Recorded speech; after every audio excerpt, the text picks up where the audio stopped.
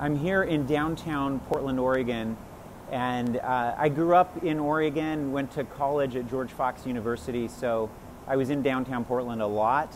And to be here after over 120 nights of protests, many of which, maybe most of which, have been deemed riots, where many, many people have been injured.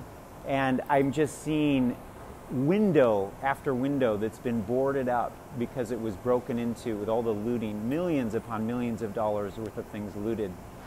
And um, I'm, he- I'm standing here where Jay Danielson was murdered by someone who declared himself 100% Antifa.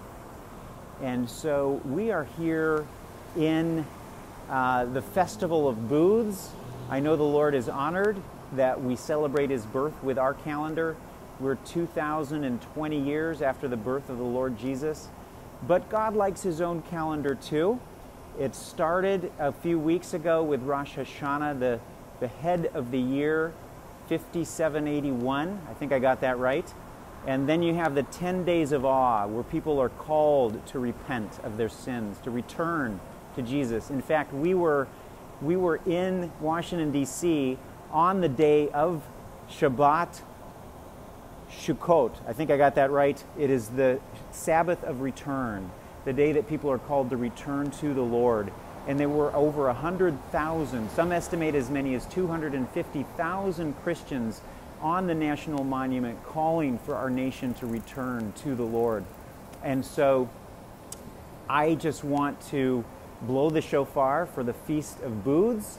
This comes after Yom Kippur, the Day of Atonement, the day that the people, after 10 days of giving their lives back to the Lord, it is a day of atonement, and now the festival of booths. To come into the presence of the Lord, uh, his people would live in booths for a week, tents, to remind themselves of how God preserved them for 40 years in the desert after delivering them from Egypt.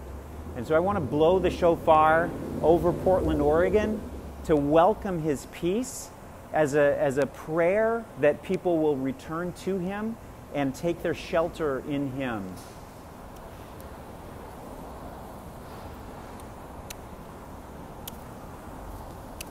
Baruch atah Adonai Eloheinu melech haolam asher kidshenu במצוותיו וציוונו להחית בציצית.